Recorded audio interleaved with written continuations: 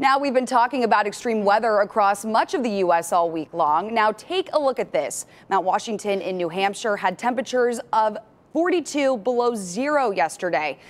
If we factor in the 120 plus mile per hour wind gust, it felt like under negative 100 degrees. The observatory on top of the mountain says this is the coldest temperature ever recorded there. Oh, those winds. It's insane. Look frightening. It and does. Have you ever seen the movie National Treasure? Yes. It reminds yes. me of that ship, the Charlotte. Mm -hmm. And even right now, it's not as intense, but it's still pretty awful there. If we take a live look right now at the observatory in Mount Washington, first off, I want to point out that little tent there. Couple minutes ago, I saw somebody standing outside of it. So there's somebody up there right now at that observatory. Temperatures right now in Mountain Washington, negative 38 and still feels like negative 97, but record cold temperature yesterday with that wind chill of a negative 108. And we think it's cold in Cleveland. Look at these balmy numbers 14 in Cleveland, 11 for Akron and Wooster. We have a southerly wind at around 15, 20 miles per hour. That is making it feel like sub-zero in many spots minus five, for example, in Mansfield, negative two for Cleveland. We've got a goose egg in uh, Millersburg. So it's definitely cold to start off your morning. Bundle up, keep the jacket with you because we are going to increase the numbers quite nicely. It's going to be more seasonable, not as cold as yesterday getting into about the middle 30s or so. Plus, I think we'll get some sunshine throughout our daytime hours. Radar is looking quiet. The, any of that lake effect snow faded away because we have that southerly wind now and high pressure in control. You can always think of high pressure, high and dry.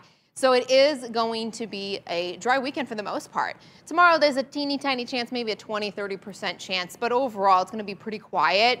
Notice how clear it is expected to be this afternoon. Around sunset, we start to pull in more clouds, so mostly cloudy conditions overnight. That's going to help keep our temperatures a little bit more insulated tonight and into tomorrow so they don't move much from our highs. We're going to be in the middle 30s for our highs, upper 20s to low 30s for our lows.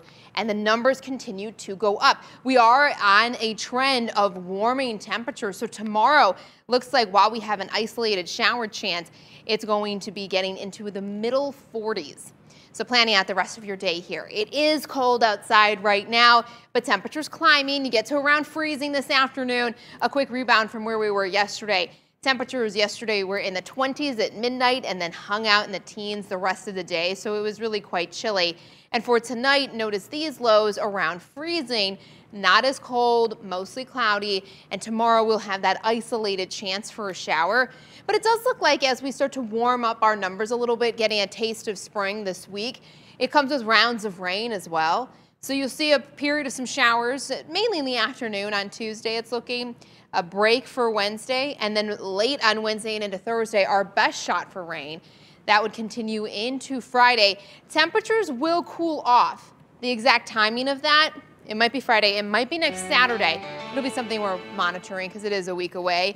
Notice how many warm days we have. Just for perspective, average high temperature 37. So basically this entire seven day except today is above average.